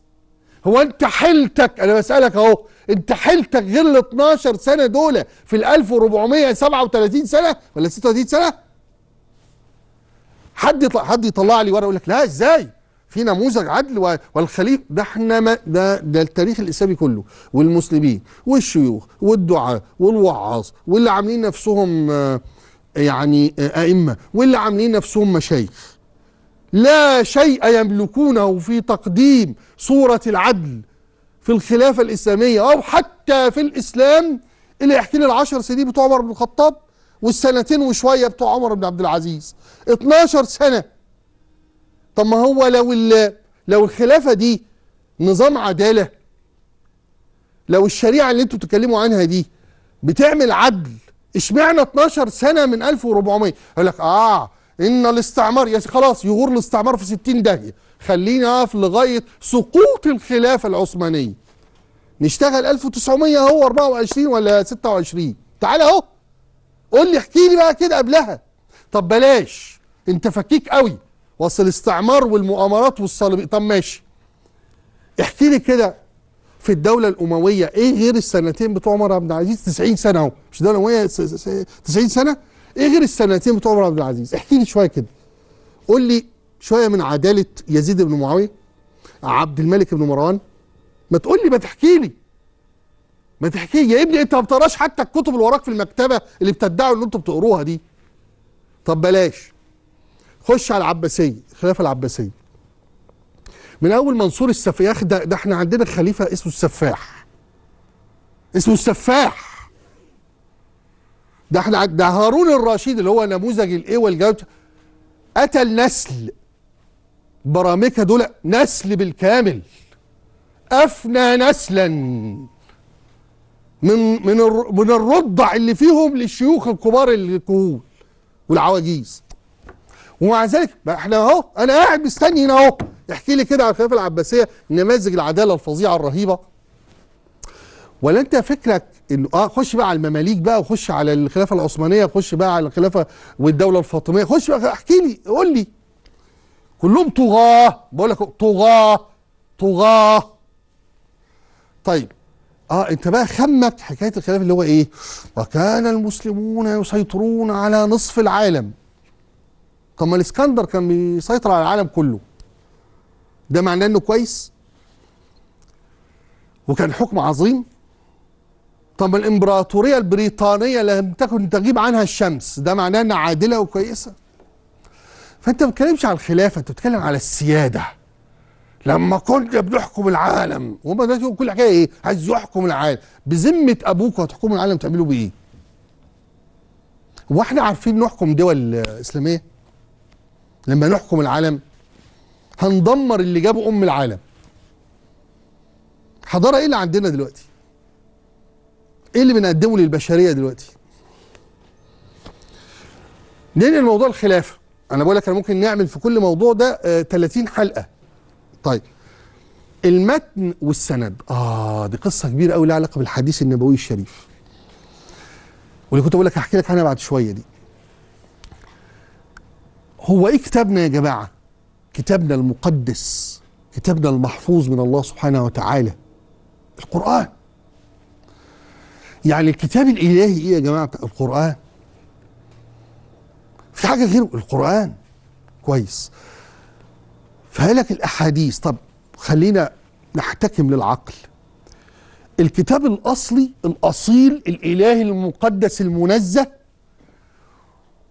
ولا الأحاديث اللي هي النص التابع الشارح اللي كمان فيها حكايات كتيرة قوي في الطعن في كثير منها. بدليل البخاري نفسه اللي هم بيقدسوه أكتر يعني يعني كأنهم مش عارف البعض يتعامل وكأنه نبي البخاري مش نبي سيدنا محمد صلى الله عليه وسلم. طيب البخاري نفسه شارك في 600 ألف حديث طلع منهم 6000 وبرضه الكلام على 600 ألف حديث ده كلام يعني قعد قد إيه من العمر؟ احسبوها كده. قعد 600 ألف حديث. ده انت لو انت بتفحص كل حديث ساعة يعني طبعا مش ساعة المفروض أكتر بكتير. شوف بقى الروايات وإيه وبتاع لا إيه طاقة بقى بشرية مذهلة. ساعة يعني؟ يعني محتاج 600 ألف ساعة في حياتك. قيس كده بقى البخاري كان بياكل إمتى وبيشرب إمتى وبينام إمتى وبيصلي بقى صلاة طبعا صلاة جامعة في كل مسجد و... و... وقيام الليل ومجامعة زوجته ومراعاة أهله وفي نفس الوقت المعاش. معرفش بقى كان بيقبض منين ولا عايش منين. فلما تقيس كده وبينام أكيد كان بينام يعني. فلما تحسب كده تشوف قعد 600 ألف يدرسهم إزاي؟ ومع ذلك ده موضوع فرعي. خليني في الأصل هنا. الحديث عبارة عن إيه؟ عن حاجتين. الرواة وده اسمه السند بقى اللي بيروى عن عن عن عن. والسند وال- والمتن اللي هو الحديث بقى نفسه نصه. فاساتذتنا بقى من مئات السنين داخلين ال- الإشكالية دي. هو الحديث صحيح عشان اللي رووه السند عن عن عن عن عن. سلسلة ذهبية وناس كويسة يعني. ومتصدقه ولا علشان المتن نفسه يتو... يتصل ب... ب... ب... ويتسق مع القرآن الكريم و... ومعقول ويتناسب مع ألفاظ سيدنا النبي وسياق كلام هو ده الحكاية. إحنا نصدق إن الحديث صحيح بناء على عن عن عن عن عن ولا نتيجة النص نفسه اللي هو ده السند عن عن عن عن ولا المتن؟ المعتزلة قالوا المتن. نشغل العقل في المتن لأنه مهما عن عن عن عن عن وجابوا حديث غلط. لا يتسق مع العقل لا يتسق مع القرآن. يتناقض مع القرآن. ويقعد بقى هم إيه الجماعة اللي موجودين دلوقتي؟ يقعد يلووا في فهم الحديث يقعد يلووا في الدراسة عشان إيه؟ مش عايز يقول حديث آه، آه، غير صحيح. ليه؟ لأن هو مناقض للقرآن. لكن إزاي يقعد يدوروا على أي تأويل؟ يقول لك أنت اللي جاهل. أنت اللي ما بتفهمش. أنت مش فاهمه صح. ويقعد يلف لك رقبته ويعمل لك 60 محاورة مناورة عشان برضه ما يعترفش إن الحديث يتناقض مع القرآن ويتناقض حتى مع العقل. فهنا بقى المعركة. بعد المعت... الأشاعرة بقى قال لك لا مش العقل قوي كده بس والماء ويحاول يوفق بين الاثنين المذهب الأشعري اللي هو مذهب الأزهر. وطبعا في ابن تيمية وبقى وابن القيم الجوزية ولغاية بقى محمد بن عبد الوهاب وابن باز كلهم بيكفروا الكلام ده برضه ورغم الأشاعرة دول كفره وال والماترديه دول كفره وال والمعتزلة طبعا كفره فهنا بقى كتبك وأبحاثك وآرائك وخطبك ومناهجك وبتاع المفروض تمشي في سكة تعمق إيه؟ إنه النص الأصلي القرآن يتلوه السنة. مش أنا بقول لكم أنا دعيتكم قبل كده. بعد بكرة بإذن الله نروح نصلي الجمعة كلنا. قولوا لي كده كم آية اتقالت وكم حديث؟ هتلاقي خطب مصر كلها شغالة على حديث. وكأنما القرآن هجر بمعانيه وتفسيره. نيجي بقى لل- للعمود الخامس. وهو التاريخ المزور. إيه التاريخ المزور ده بقى؟ التاريخ المسكوت عنه. هو إحنا وده السؤال. أنت عايز تدرس تاريخ المسلمين ولا عايز اكتب لك كتاب علاقات عامة ودعاية عن المسلمين؟ يعني إحنا بندرس تاريخ المسلمين فعلا؟ اللي بيقولوا عليه خطأ تاريخ الإسلام هو تاريخ المسلمين. هل إحنا هندرسه فعلا؟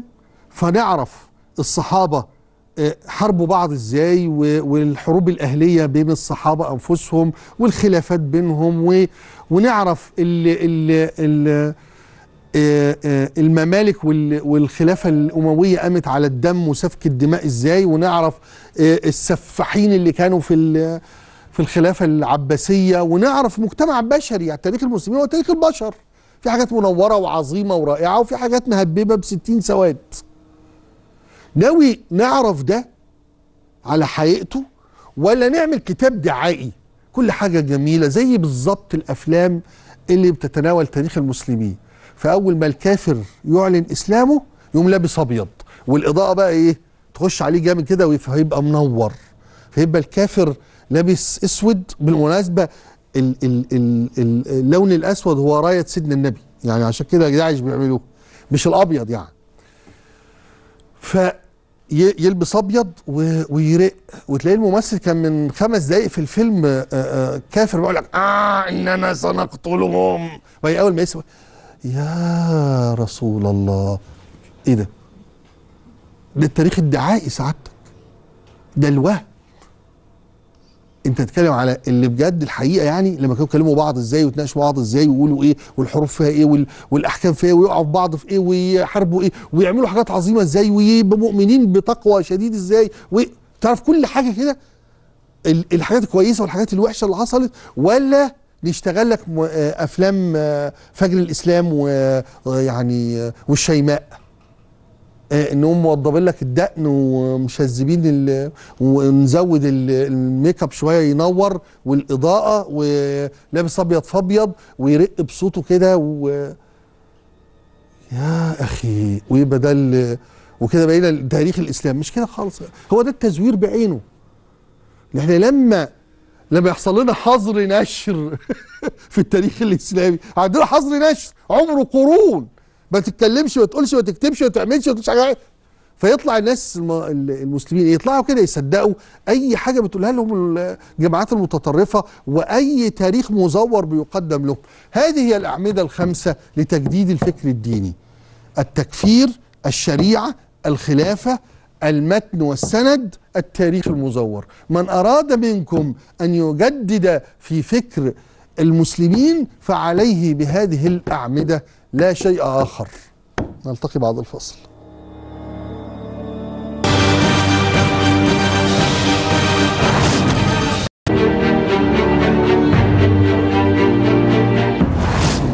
عشرة أسباب تجعل مجتمعنا لا يقبل الرأي الآخر. مجتمع الرأي الواحد. عاشرا بنربي ولادنا من صغرهم على إنهم يسمعوا الكلام وعدم النقاش. انت هتعيش دي بالمناسبة طبعا ولادنا بيتغيروا دلوقتي لكن بيتغيروا برضو على أساس إنهم ما يسمعوش الكلام ويقبلوا برأي واحد ورأيهم. حتى من غير ما أنت تبذل جهد حتى. مجتمعنا بيربي على السمع والطاعة. مجتمعنا بيربي الولاد على إنهم يسمعوا الكلام وما يناقشوش وما يختلفوش وما يقوحوش وما يتلمضوش. مجتمعنا مش عايز حد يسمع آه، آه، آه، كلمة لأ. مجتمعنا بيربي ولادنا وأجيالنا على مرض عربي أصيل اسمه الطاعة. الطاعة. كأنه حياتنا كلها كأنه مجتمعنا كله مطلوب في بيت الطاعة. فالطاعة دي بتخلينا ما نعرفش إيه هو الرأي الآخر أصلا ولا نحترمه ونخت ولا, ولا نطيقه ولا نناقشه. تاسعا لما نعرض لأي مشكلة نعتقد جازمين إن إحنا اللي صح. وعشان كده لا تقبل الرأي التاني. ويقول لك آه، آه، مقولة الإمام الشافعي رأيي خ- آه، صواب يحتمل الخطأ ورأيك خطأ يحتمل الصواب. تقعد تسمع الكلام ده يعني. لكن لا أحد يقبل بأنه بيقول كلام يعني على الأقل يقول على الأقل دي وجهة نظري. مدى علمي نصيبي من المعرفة. لا. في اعتداد شديد وعايز أقول دايما اللي مش قاري كويس اللي مش مثقف اللي مش مليان اللي مش بيشغل دماغه قوي بيبقى عنده غرور الجهل ابن لذينه بيبقى واثق في جهله بطريقة يخرب بيت الدنيا. إيه الجمال ده؟ إيه الثقة الرهيبة في جهله دي؟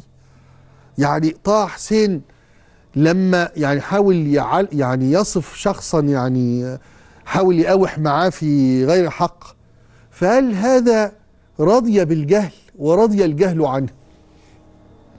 فاحنا عندنا بقول لك دايما طول الوقت الاعتداد الشديد بإنه اللي تعرفه بس هو اللي صح. عشان كده حد يقول لك لا ده آه، آه، الواقعة دي. يقول لك لا لا ما حصلش. مش حقيقي. أنا كنت لما أحكي في التاريخ الإسلامي يقول لك انت جايب الكلام ده منين؟ يعني انت مش مألفه يعني. لأنه ما يسمعوش ما يعرفوش ما يصدقوش. وتقول له ده فلان آه، والإمام كذا قال إنه رأي بهذا المعنى. يقول لك لا لا زعي ليه؟ لأنه ما سمعش غير حاجة واحدة وهو مصدقها ولا يقبل ولا يطيق ولا يتصور إن في رأي تاني أصلا. ثامنا إحنا كمان عندنا تصورات يعني خاطئة إنه لو رايك طلع غلط يبقى أنت مثلا آه، آه، شخصية يتم الانتقاص منك أو إنك أنت بقيت كده وحش أو إنك تطلع غلطان فين لما تطلع غلطان. هو طبعا بتسمع كلام الاعتراف بالحق فضيلة اعتراف بالحق جميل يعني بس هل إحنا بنطبقه؟ يعني لا يمكن. إحنا طول الوقت عندك الاعتداد ده برأيك وبعدين ما عندكش القبول بانه رأي غلط. وما تبقاش تتعامل معاه برحابة ووضوح. وده بقى يخلينا إيه؟ لما أي إنسان سوي يعني أي إنسان عاقل كده وراشد وناضج وبيقول رأي وبعدين يثبت له بالوقائع والأحداث والزمن. موقف تاني أو رأي تاني يقول لك آه غير رأيه متلون مش عارف إيه يا سيدي في فرق بين الثبات على الموقف وفي فرق بين الثبات على الرأي. الرأي متغير زي الفتوى كده ب ب ب ب ب بالوقائع والأحوال والتحولات. إنما الموقف ده حاجة تانية.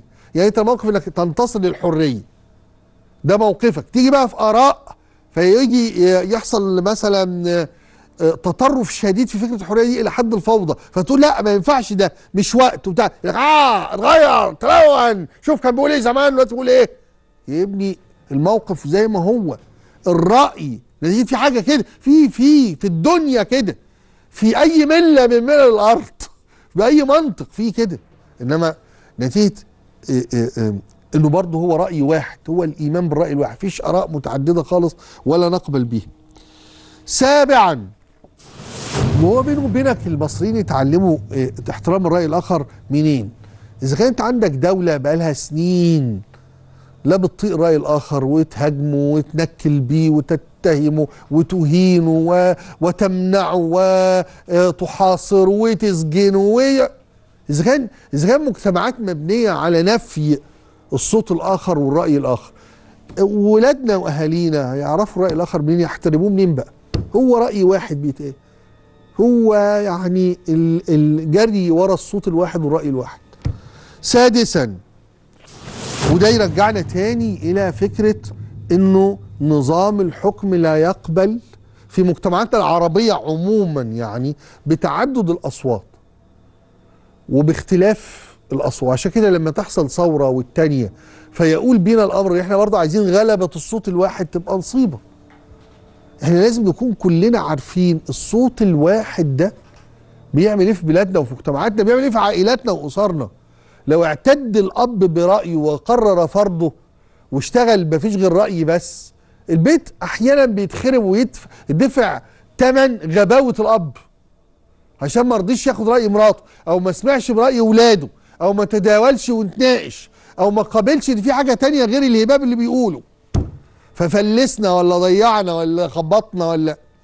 خامسا التعامل مع كل رأي مختلف سواء على المستوى العام أو على المستوى لو المستوى العام مثلا أي رأي مختلف ومغاير وصوت تاني يبقى من أول بقى إنه خاين عميل مأجور مدفوع مش عارف إيه قلة مندسة أو على المستوى الخاص أي رأي تاني يبقى غيران حاس حاسدني حقد عليا مش طايقني اصله كارهني اصله بينافسني. فعلى طول كل طرف بيحل لنفسه الصوت الواحد اللي يملكه ال- الرأي الواحد اللي معتنقه لما على طول ينفي تماما آه، موضوعية الرأي التاني. فبقول لك سهل على المستوى العام يبقى آه، الرأي التاني أو الصوت التاني آه، ده خاين وعامل ومأجور وبتاع مش عارف إيه وال- أنا أنا فترة من الفترات كان يقول لك أنت شيعي أنت مع الإخوان في نفس الوقت أنت شيعي أنت مع الإخوان أنت اباط مهجر. طب يا جماعة إزاي يجوا مع بعض؟ أمريكاني إيراني يخرب بيتكم كل ده مع بعضه. إزاي تركب إزاي ده؟ ده جن أزرق. اللي يبقى كل الجهات دي مشغلاه؟ فهو نفس المهم المهم إن أنت اللي بتقوله زفت وخلاص مش عايزين تسمعه إيه دي الحكاية؟ وعايشين كده طول الوقت على فكرة. بقول لك على المستوى الخاص والمستوى لو إيه حاسد حاقد أعداء إيه كارهين للنجاح وخلاص مش طايق أي نقد ولا أي كلمة أنت وحش انت أنت ده غلط ده مش لا مش طايق خلي لهم أعداء النجاح كارهيني حاسديني غيرانين مني. رابعا مناهجنا في الدراسة ولا أنا قلت لكم إحنا ما عندناش تعليم في مصر مبدئيا يعني لكن مناهجنا في الدراسة اللي موجودة ما بتقدمش أبدا غير التوجه ناحية الصوت الواحد. والرأي ما بتعلمش التنوع والتعدد ما بتعلمش المناظرة والاختلاف والمجادلة والجدل. بيتكلموا عن الجدل على إنه حاجة وحشة. بيتكلموا عن الاختلاف على إنه حاجة وحشة. ليه؟ لأن دي تربية تربية. وبالمناسبة أقدر أقول لك من 64 سنة يا عزيزي. ثالثا عدم القراية وغياب المعرفة وغياب الثقافة وغياب الاطلاع على التنوع اللي موجود في الدنيا هو اللي بيخلينا طول الوقت مؤمنين برأي واحد وصوت واحد ولا نعرف ولا نفهم ولا نعي غيره. ثانيا لأن إحنا لا نؤمن إلا برأي واحد وصوت واحد جوانا ولا نقبل أي أصوات أخرى ولا آراء أخرى ما عندناش قدرة على النقاش ولا الاختلاف ولا الجدل ولا المناظرة. ولا المناقشة. وعشان كده تتحول المناقشات إلى شتائم وإلى تبادل اتهامات وإلى قطيعة. لأنه يعني ما بيعرفش يعرض وجهة نظره. ما. ما بيستحمق ما بيعرفش. واحد يقول له آه، دي نقطة كذا فيرد عليه كذا. ما عندناش ده. دايما خناقات أو أي مناقشات معناها خناقات لكن إحنا مش عايزين نتكلم بعض. إحنا بنتخانق لما بنتناقش. إحنا ما بنطقش بعض. خلاص. يبقى ليه؟ لأنك أنت لا تتعلم منذ صغرك منذ اللحظة الأولى لنبتة أفكارك القدرة على طرح وجهة نظرك بحجج وآراء ومناقشة الآخرين بالحجج والآراء والمنطق. أولا كل من يتولى مهمة أو منصبا أو مسؤولية أو وظيفة ليس أهلا لها وليس كفءا لها فهو لا يقبل على الإطلاق بأي آراء أخرى ومختلفة معه لأنه شعوره الشديد بالنقص إنه جاء في هذا المكان والمكان ده أكبر منه وعايز يثبت أنا عتريس وانما أنا عتريس أنا عتريس فالإحساس الرغبة دي في إثبات إنه قد المنصب أو المسؤولية أو المهمة أو البرنامج ولا ال- الوظيفة ولا إيه يقوم مخليه طول الوقت لا يطيق سماع رأيا مخالفا ولا صوتا معارضا ولا نقاشا ولا اختلافا. هو الصوت الواحد اللي بيرن جواه بس. رن رن رن. ده الصوت الواحد؟ طيب نلتقي بعد الفصل.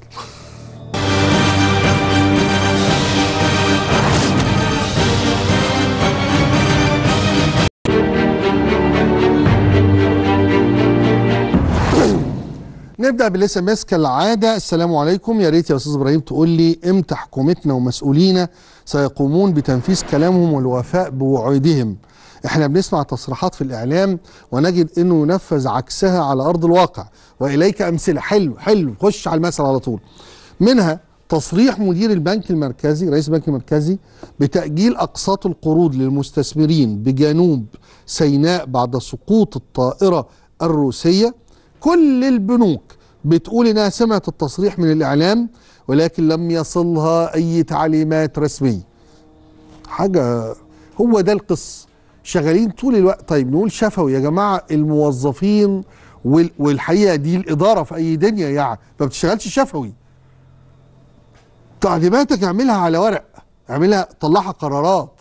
إنما كلام شفوي ونصايح وخطب وبتاع شكرا.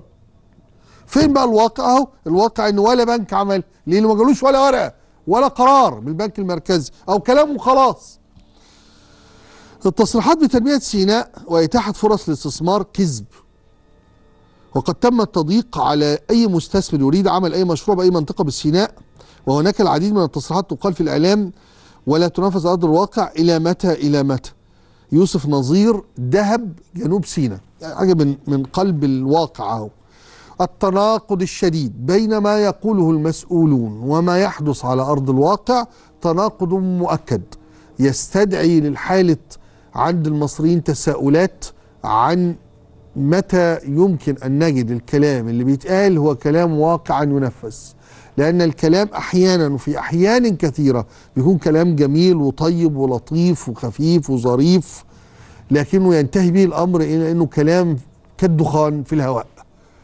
دخان في الهواء ده كان آه، العمود الصحفي الكاتب عظيم اسمه جلال الدين الحمامصي اتنين ليه الدولة بتخصم التلت من ورثة المعاشات؟ طب أنا ده سؤال مهم وسأذاكر الإجابة عليه وأقول لسيادتك في آه، لحلقة أخرى. مساء الخير أستاذ إبراهيم. استمعت لما قاله الأستاذ صفوت النحاس بشأن الأجور. ده حوارنا أمس. أود فقط إحاطة سيادتكم أنني أعمل إعلاميا بهيئة الاستعلامات على الدرجة الأولى الأولى. وإجمالي راتبي الشهري 2600 جنيه. هل هذا يعقل؟ ال ال الدرجة الأولى دي يعني إحنا بنتكلم يعني حد في سني كده 50 سنة. مرتبه الشهري 2600 جنيه. ده يعيش مين؟ يعيش مين صحيح دلوقتي؟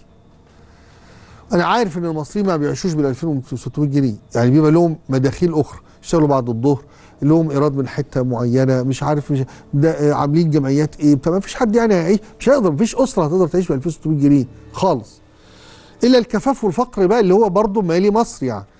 لكن فكرة إنك أنت تتصور أن هناك موظفا في الدولة يمكن أن يعيش هو وأسرته ب 2600 جنيه قول بقى مراته كمان مثلا شوية قريبة من السن أو كده فيبقى مثلا مرتبها 2000 جنيه يبقى بيقدروا يعيشوا ب 5000 جنيه. في مصريين في مئات الألوف في ملايين مصريين عايشين ب 5000 جنيه. بس عيشة اللي هي اللي هي العيشة اللي بتخلي ال- الوجع والألم ضخم وكبير. ما رأي معالي وزير النقل في برنامج حجز تذاكر السفر الذي يلزم المسافر بشراء تذكرة حتى نهاية الخط مهما كانت وجهته؟ ده بجد؟ يعني يوم ما تعملوا برنامج حجز تذاكر على الإنترنت والأونلاين يبقى لابس اسكندرية لابس اسكندرية يا أخي طب افرض عايز ينزل في طنطا في بنها. يعني ليه؟ ليه تقوم؟ لازم نهاية الخط. ولا ال- الراجل اللي بيبرمج لكم مشي. الشركة اللي انت اتفقت معاها على البرمجة آه، آه، انهت العقد. مش عارف. إزاي المنطق ده؟ بأي منطق يعني؟ خلينا برضو نتحقق من الشكوى دي بقوة يعني. أستاذ إبراهيم هذا تقرير رائع وجدير بالدراسة حول تحليل أسباب الهجرة اللي هو المسح الجميل ال- المهم الخطير اللي عمله الجهاز المركزي للتعبئة والإحصاء. هذه الأرقام مزعجة ويجب عليكم تبني هذا الأمر في العديد من الحلقات القادمة الحل هو إقامة صناعات كثيفة العمالة للتصدير في إقليم قناة السويس يتم تمويله بالكامل الاتحاد الأوروبي إن كان لديهم رغبة حقيقية لحمايتهم من موجات الهجرة من شمال إفريقيا بعد كل هذه الفوضى غير الخلاقة التي خلقوا خلقوها بأيديهم. أخوك مهندس سعيد فرج عايزر. طبعا دي فكرة من الأفكار وهي المشكلة الكبيرة زي ما قلت لكم المثل النهارده. امبارح مصر بتحرر 20 شاب من الخطف في ليبيا ويجوا على أرض مصر يستقبلهم في لفتة ويعني إشارة في منتهى النبل والقوة. رئيس الجمهورية بشخصه ونفسه ويحتفي بيهم ويتواصل معاهم النهارده الصبح النهارده الصبح. بنقبض على 28 شاب بيهاجروا ليبيا يعني أهو واضح جدا إن الحلول محتاجة تبقى أكثر عمقا وإن إحنا ننتبه جدا للمشكلة دي خصوصا لما نعرف 80% من الذين يهاجرون سواء هجرة غير شرعية أو شرعية إنما يهاجرون من ريف مصر صعيده وبحري. وده برضو معناه إن التن- التنمية والحياة في الصعيد وفي بحري في الأقاليم خارج العاصمة تعاني إلى درجة إن 80% من هؤلاء الذين يهاجرون إنما يهاجرون من هذه المناطق في مصر. وبالمناسبة هم عندهم قرابة 50% من السكان عشان برضو يا أستاذ عايزين محافظة اسكندرية. انجدونا من المباني المخالفة في حي شرق والقمامة بالجبال والمخدرات في الشوارع. عادي ارحمونا يرحمكم الله. أرجو إرسال كاميرا لحي شرق أو للمناطق الشعبية عموما لتروا كم المعاناة. أنا مش عايز أبعت كاميرا البرنامج أنا عايز الدولة نفسها يبقى عندها كاميرات. إنه ما إحنا قلنا مليون مرة الكاميرات في الشوارع والميادين. أمر يجعل من آه، درجة الأمان والمتابعة عالية جدا وموجودة في كل دول العالم ومعمولة باحترام للخصوصية وحقوق الإنسان أيضا وإنه لا يمكن بأي حال من الأحوال وسط المجتمع اللي إحنا فيه والفساد الذي نخر أو نخر في جذع الشجرة إن إحنا نواجه الفساد إلا عن طريق المتابعة والمراقبة والملاحظة والكاميرات. تلعب دور كبير في الموضوع ده بصرف النظر بقى عن إن أنتوا تجيبوا لنا كاميرات آه، بايظة تعملوا لنا مناقصات بقى تجيبوا لنا كاميرات بايظة تجيبوا لنا مناقصات مش عارف بتعطل و... وتبقى ب 15000 فنجيبها ب 150000 وبعدين أصل الموظف اللي مشغلها مش موجود أصل الكمبيوتر عطلان أصل يعني القصص دي برضو اللي هي إفساد محاولة إنقاذ الفساد أو مواجهة الفساد. والله في فساد مواجهة الفساد. يا خبر أبيض! ده علم علم ضليع فيه الموظف المصري. علم ضليع فيه فعلا. أنتوا فاكرين أبو حلموس؟ فاكرين نجيب الريحاني بعبقريته وعظمة بليغ بديع خيري؟ اللي هو 2 جنيه تمن حلقة الخروف آه، آه، 2 جنيه حبل الخروف 2 جنيه أكل الخروف وساعتها بقى مش تكتب 18 جنيه تكتب 90 جنيه. يعني نظرية الخروف بتاعت نجيب الريحاني دي شغالة لغاية دلوقتي بنجاح ساحق يعني. طيب إلى السؤال الأول. أنا بقول للأستاذ إبراهيم عيسى آه، السؤال بتاعي وموجهه للسيد آه، رئيس عبد الفتاح السيسي. سيادة الرئيس أنت الرئيس الوحيد اللي أتاحت لك الشعب فرض ضرائب الشعب قال نعم آه، قرارات جريئة ومصيريه الشعب وقف معاك وقال نعم آه، الشعب ضحى بكل ما يمكن معاك. فلوس المعاشات سياده الرئيس عبد الفتاح السيسي. لماذا لم تصدر قرارات جريئة وسريعة وحاسمة بخصوص أصحاب المعاشات ولجنة حقائق سريعة؟ عاجبني لجنة حقائق سريعة دي. يعني لجنة لجنة اتخاذ حقائق دي تطلع نتيجة بعد 14 يوم زي لجنة اتخاذ حقائق اللي محظور الكلام عنها. آه، آه، آه، قصة المعاشات في مصر قصة كبيرة. مش بتكلم عن 9 مليون بس من المعاشات في مصر. لا هو هو هو 9 مليون بس ده 9 مليون أسرة. وبتكلم على المعاشات بمعنى عن هذا المصري ال- اللي المواطن اللي الشريف اللي كافح واشتغل وخدم البلد 30 و40 سنة و50 سنة وفي الآخر طلع على المعاش. فبدل ما نحفظ فلوسه ونحفظ كرامته ونحفظ كبريائه ونحطه في عينينا على اعتبار إنه خدم البلد دي واشتغل فيها وقدم لها عمره وحياته إذا بينا بنعمل في المعاشات ما نفعله الآن. مما يستدعي بالفعل تدخلا رئاسيا بما يستدعي بالفعل استجابة لهذا النداء ال- الطيب من آه، يعني أصحاب المعاشات لأنه هذا الأمر يستدعي بسرعة تداخل حتى لطمأنة هؤلاء ولطمأنة مصر كمجتمع واللي ملوش فعلا كبلد كمجتمع ملوش عناية دراسة آه، اهتمام آه، رعاية للمعاشات ولا يمكن يرعى شبابا ولا يرعى كهولا. وإحنا بنشوف المجتمعات بره أماكن يعني الاحتفاء بفكرة آه، سن المعاش ده.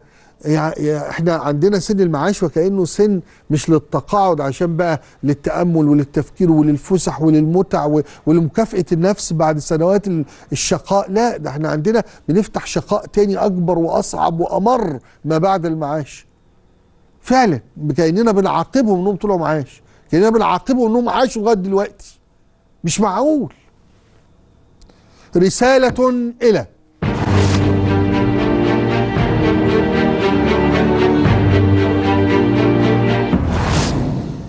رسالة إلى المستشار مجدي العجاتي وزير الشؤون القانونية ومجلس النواب.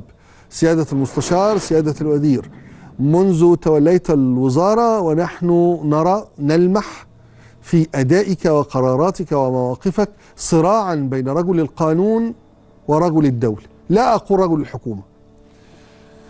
وبدأ هذا واضحا في مجلس النواب اليوم والأيام الماضية. أتمنى عليك سيادة المستشار لأنك قيمة ومكانة عالية ورفيعة. في صراعك النفسي بين رجل الدولة ورجل القانون أرجوك انتصر لرجل القانون فهو القيمة الأكبر والأبقى والأخلد. ستبقى أحكامك في القضاء الإداري هي المنارة.